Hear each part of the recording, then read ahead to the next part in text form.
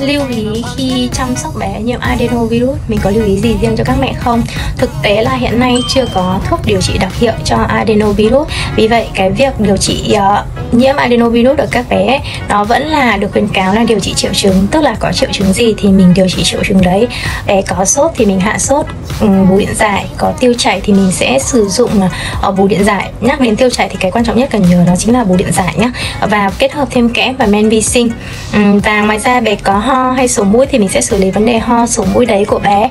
Tức là ừ, ho thì uống siro ho, hoặc tùy xem ho có đờm hay không để bổ sung long đờm. Bé sổ mũi nhiều hay ít, nếu sổ mũi ít thì còn bạn phải sử dụng như cái dung dịch nhỏ uh, nước muối cho bé. Còn số muối nhiều có thể cân nhắc dùng thêm kháng histamine.